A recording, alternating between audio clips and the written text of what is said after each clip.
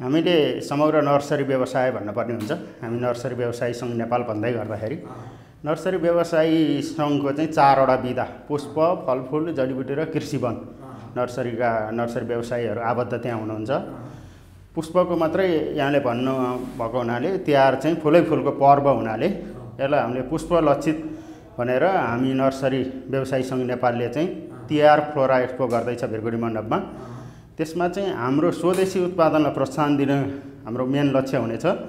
र तिहारमा सयपत्री मखमली गोदावरी लगायत फुलहरू प्रयोग हुने हुनाले सयपत्री मखमली र गोदावरी फुलमा चाहिँ हामीले त्यहाँ व्यवसायीले उत्पादन गरेको सामग्रीहरू त्यहाँ प्रदर्शनमा राखेर तीमध्ये उत्कृष्ट भएको व्यवसायीलाई चाहिँ उत्कृष्ट सयपत्री उत्कृष्ट गोदावरी उत्कृष्ट मखमली भनेर ती व्यवसायहरूलाई सम्मान कदरपत्र र नगदद्वारा पुरस्कृत गर्ने पनि कार्यक्रम छ। अहिले ठ्याक्कै भन्नुपर्दाखेरि सम्बोधन अलिकति यता हाम्रो प्रदेश वन मन्त्रालयले गरेको थियो। त्यसमा चाहिँ तालिमका कार्यक्रमहरू राखेर चाहिँ नर्सरी एसोसिएसनले कार्यक्रम गर्ने र व्यवसायीहरूलाई चाहिँ तालिम दिने र माउबोट वितरणका कार्यक्रमहरू राखेको थियो। त्यो पनि अहिले हामीले हामी कहाँ कार्यान्वयन गर्ने खालको प्रक्रियामा हामी पुगेका छैनौँ। र अन्य मन्त्रालय सङ्घ संस्थाहरूले चाहिँ खासै अहिलेसम्म केही सपोर्ट छैन। कृषि मन्त्रालय ठ्याक्कै व्यवसाय प्रवर्धनमा भन्नुपर्दाखेरि खासै केही छैन। म प्रदेश कृषि मन्त्रालयमा चाहिँ अस्ति गएको थिएँ। अब तपाईँहरूले गर्न मिल्ने कार्यक्रमहरू एक दुईवटा छ तिहार पछाडि सूचना निस्किन्छ त्यसमा तपाईँहरूले यहाँ सूचनामा सब्मिट गर्नु होला र तपाईँहरूले कार्यक्रम गर्नु होला भन्ने कुरा चाहिँ आएको छ मौखिक कुरा छ व्यवसायहरूले मेन बिहोरिरहेको समस्या भन्नु पर्दाखेरि त यो नर्सरी व्यवसाय सहर केन्द्रित हुनुपर्ने। सहरमा जग्गाको समस्या छ। अनि जग्गाको चाहिँ कस्तो छ भनेदेखि हामीले सरकारसँग पनि गत कार्यक्रमहरूमा हामीले घचघचाइराखेका चाहिँ सरकारी स्वामित्वमा रहेको जग्गाहरू। जुन जग्गाहरू चाहिँ नर्सरी व्यवसायीलाई लामो समयमा भाडामा उपलब्ध गराउन सकेदेखि एउटा व्यवसाय गर्ने थलो बन्थ्यो भनेर हामी त्यसमा पनि लागिपरेका छौँ।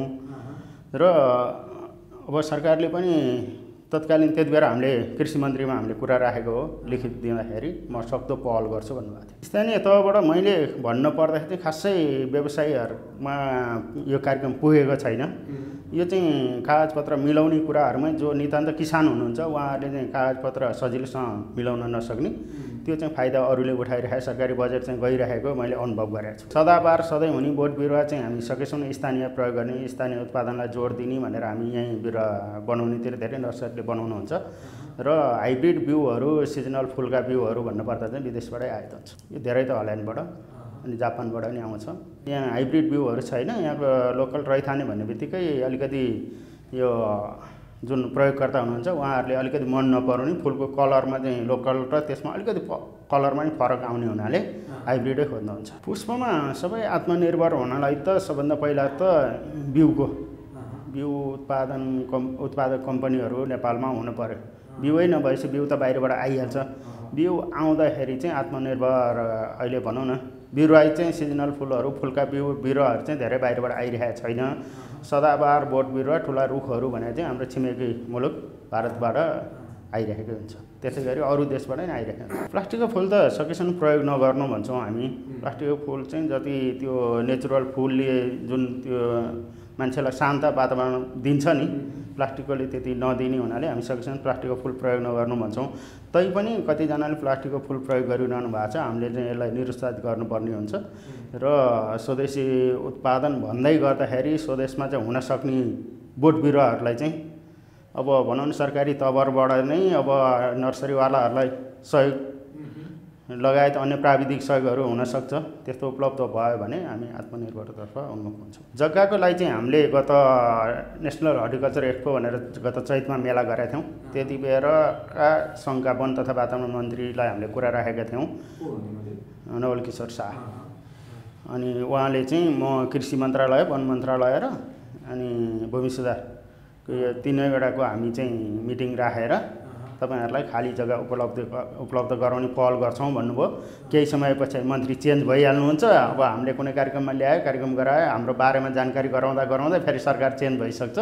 यसले गर्दा ढिला भइरहेको छ अनि सरकारी सरकारी जग्गामा चाहिँ अहिले धेरै जग्गाहरू देखिरहेको छ ती जग्गाहरू चाहिँ व्यवसायीलाई भाडामा उपलब्ध गराउने हो भने लामो समय त्यहाँ ठाउँमा लगानी गर्न पायो भने व्यवसायीको एउटा निरन्तरता दिने ठाउँ पनि हुन्थ्यो र उत्पादन पनि राम्रो हुन्थ्यो।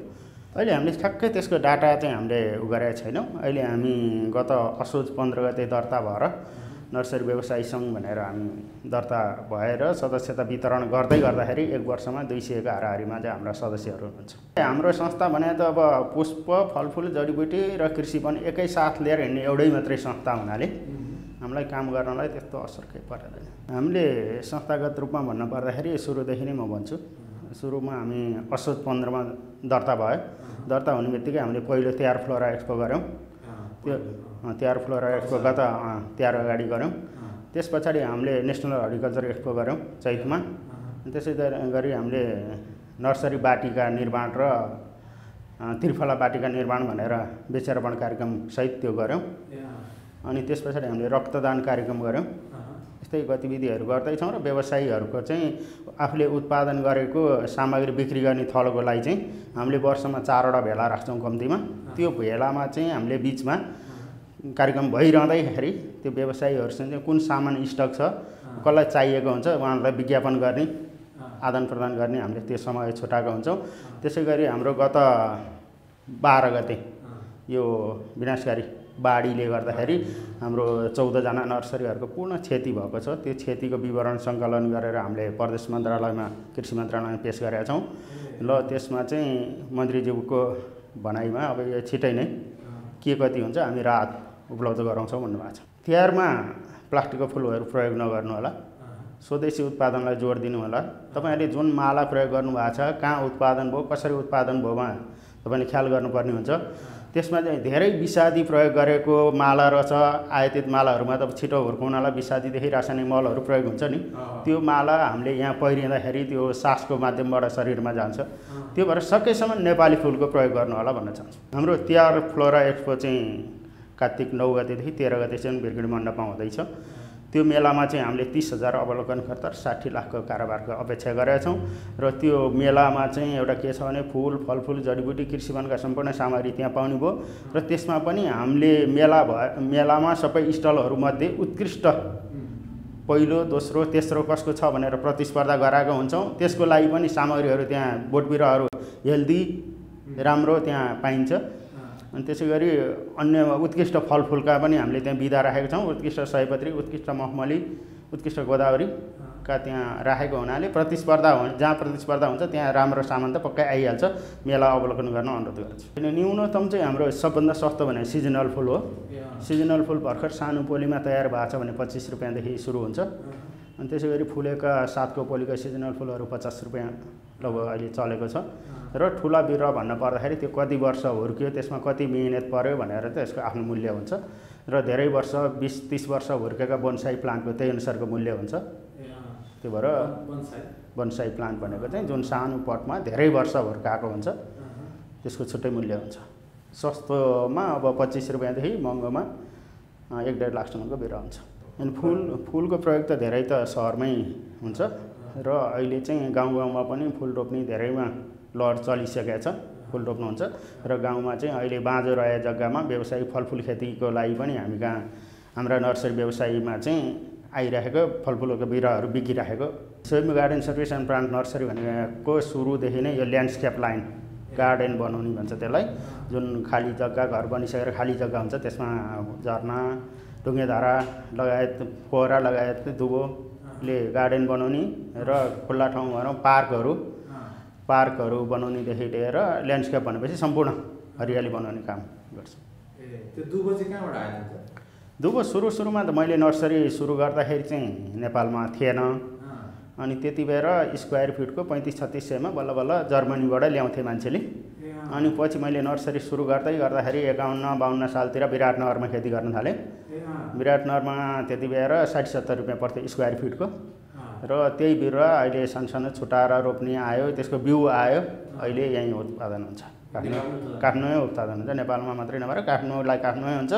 र अन्य यता चितवन यता बुटोल अहिले जता पनि छ खेती पोखरा। मेरो आफ्नो चाहिँ भन्नुपर्दाखेरि मैले अहिले काठमाडौँमा धेरै नाम चलाए ठाउँहरूमा गार्डनहरू बनाएँ। जस्तै वाइट गुम्बा भयो यता काठमाडौँ आसपास अब यता नवबुद्ध गुम्बा अनि दुलिखेलका होटेलहरू अनि काठमाडौँका धेरै होटेलहरू यस्तोमा मैले ल्यान्डस्केप गरेको छु। व्यवसायीहरूलाई चाहिँ अब मेला छ मेलामा यहाँहरू स्टल कतिले लिनुभएको छ कतिले लिनु भएको छैन अवलोकन गर्नु होला र त्यहाँ भएका नयाँ बिरुवाहरू तपाईँको आमा आउबाट हुने खालको रहेछ भने किनेर लगेर त्यो उत्पादन गर्नु हुन अनुरोध गर्दछु र सम्पूर्ण फुल प्रेमीहरूलाई चाहिँ फुलमा चाहिँ विशेष गरी सयपत्री मखमली गोदावरी लगायतका फुलहरू र फलफुल जडीबुटी कृषि वनका बोट बिरुवाहरू एकै थलोमा पाउने मेला चाहिँ अवलोकन गर्न नछुटाउनु होला भन्न चाहन्छु।